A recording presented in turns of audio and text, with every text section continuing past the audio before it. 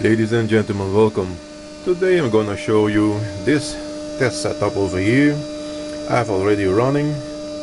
I have my variac, a rectifier, basic, a MOSFET circuit. Running it now on 11 volt DC at say 600 milliamps. Hall sensor, drive coil, generator coil, and the rectifier this thing over here is empty as you can see. Just for me to put the RPM meter on it. I'm gonna check it now. There's now 1503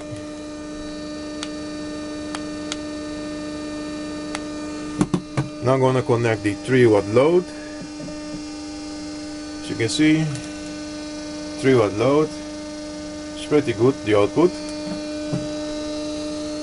Gonna check the RPM once more time.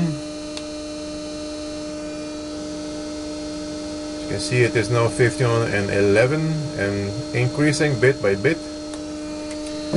So this is uh, my new generator prototype coil and the sweet spot for it to have this effect in my case is 1500 RPM. This rotor over here is a 24 pole rotor. I will show it in a moment when I stop it show you in the dark. The output is pretty decent. As you can see clearly anything or everything I have over here. Yeah you get the idea. So let's check the RPM one more time. It is now at 12 sorry 1521 gonna disconnect the load. This is my new prototype coil. The gap is uh, pretty little. I cannot tell you much about the coil but I can tell you that I have this in there as a core a pipe just a regular pipe at the hardware store.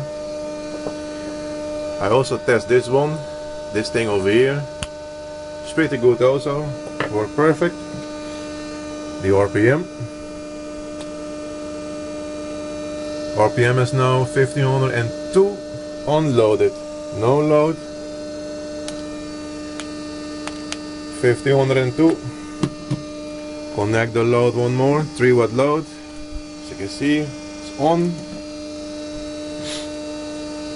and yes if I should short the uh, coil it will speed up much more but I will do it.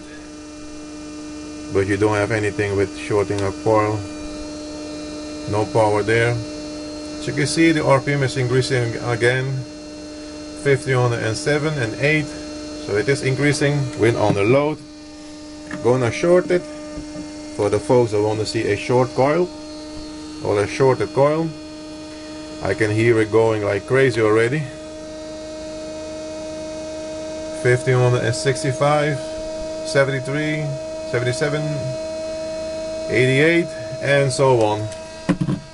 Okie dokie. Ah. almost forgot to show you the rotor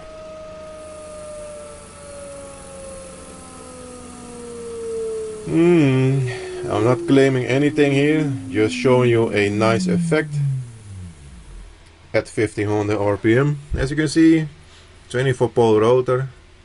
I have a ring on there which is 3 millimeter thick. The coil and the core are up to here. But I would like to put it closer, but that's maybe another test. Anyway, um, yeah, that's about it. Hope you enjoyed it, and as always, thank you for watching.